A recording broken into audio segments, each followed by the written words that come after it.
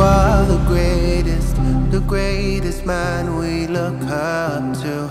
And I stay faithful. I learn my lessons all through you, the final prophet.